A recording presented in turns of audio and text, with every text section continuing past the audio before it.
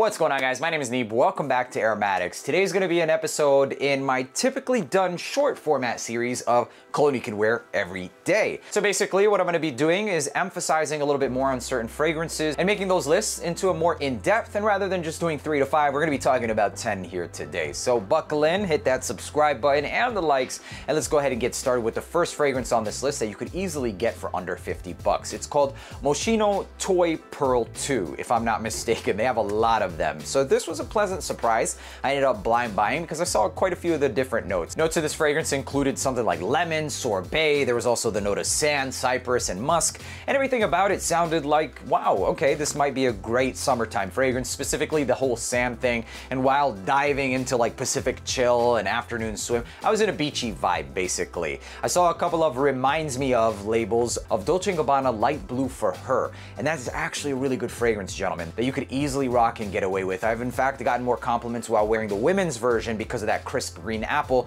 than I've ever gotten rocking the original Dolce & Gabbana light blue. In fact, I would say that it's a better fragrance overall. The overall vibe of the fragrance will give you something or remind you of fragrances like that, except it has a bit more body and depth to it because of that cypress dry down, some of those woods that really creates this long lingering effect. It lasted for me a good seven to eight hours and I am wearing this more so in the summertime, but you could easily rock this any season.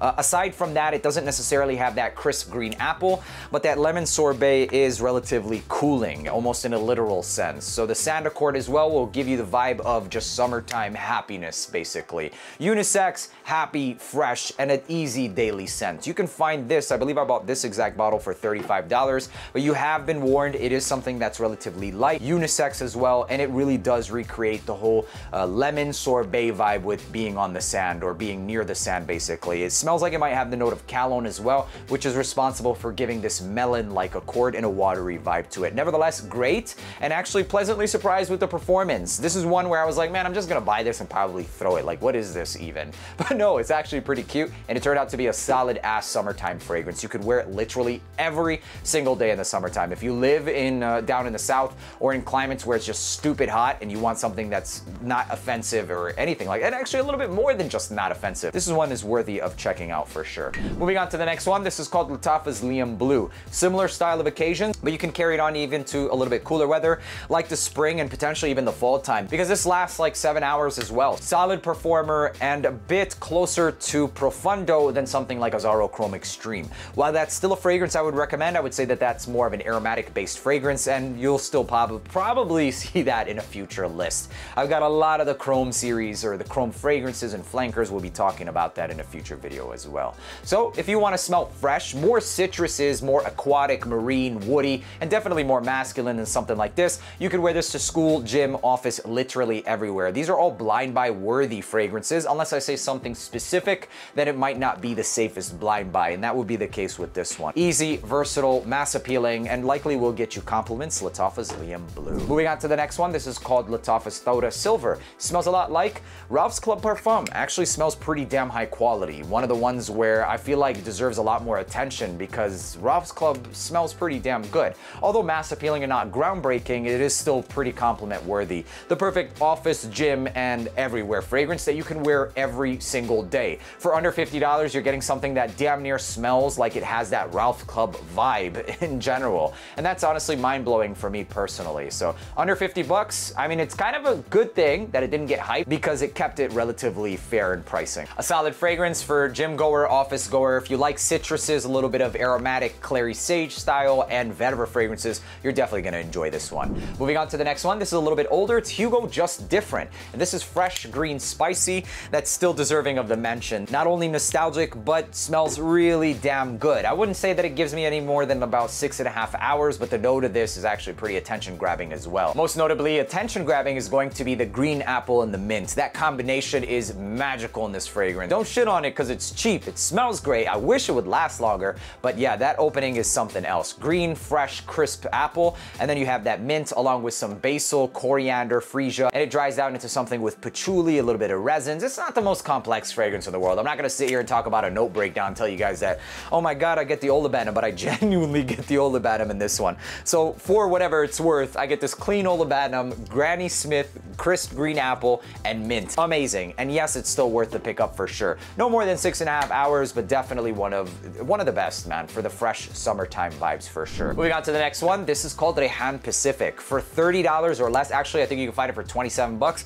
It's a no-brainer. Yes, it smells like Hayati and Hawas and all of those fragrances. Absolutely does. Let's first compare it to Hayati. How does it smell? Hayati is around 18 to 22 bucks. This definitely smells better in quality. It's not as musky and just has, well, doesn't have that cheap undertone to it. Now let's compare it to the higher end Hawas. Does it smell like Hawas?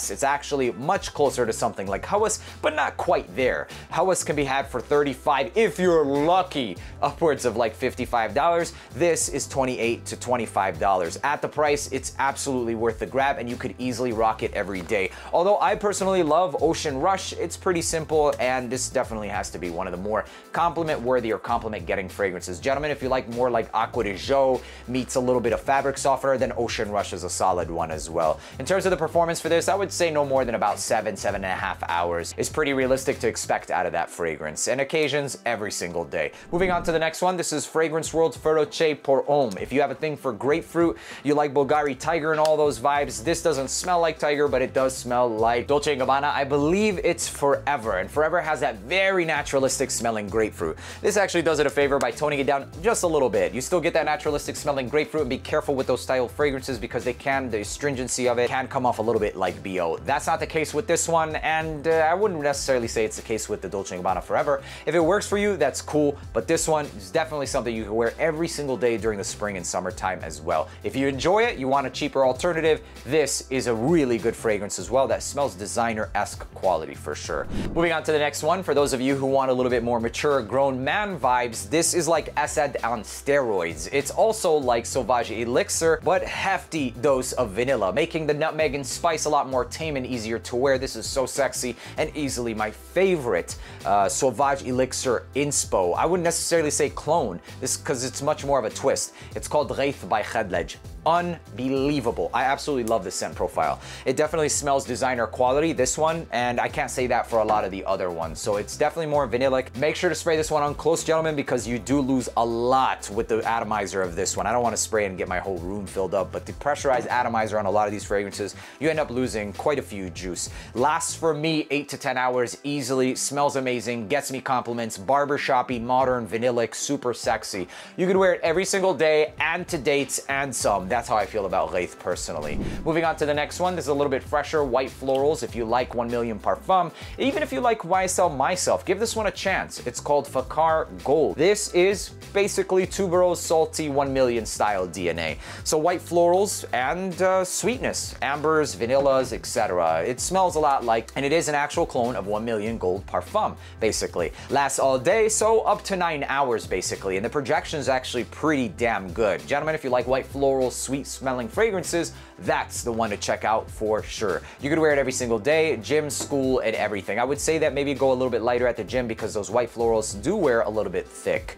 Next one on this list is called Posh Sirius by Fragrance World. Although not my favorite take or twist or inspo of Sedley, it's definitely the closest one. In fact, it gives me damn near the same quality or longevity, I should say, as Sedley. I wouldn't report getting more than about five and a half, six hours out of this, but it is still longer lasting than a lot of the other that I personally have and enjoy, like Maahir Legacy, etc. It lasts longer for sure, at least for me. You can wear this one easily every single day to the gym, school, office, literally everywhere. Inoffensive, easy, mass appealing, and potentially even compliment getting. I mean, at the price point, you can't go wrong with it. Rather than spending 220 bucks on a fragrance that, at least for me, doesn't last more than five hours, I would much, much rather go for something like that. Finishing things off with Khadlaj Integrity. If you like the Stronger With You DNA, this is a bit more of a twist than something like that. It's a bit fresher than the original Stronger With You, and the original Stronger With You I personally absolutely love. It's one of my top 10 designers, and uh, much more versatile than most people think. This kind of lightens it up, freshens it up, and keeps the level of spices though.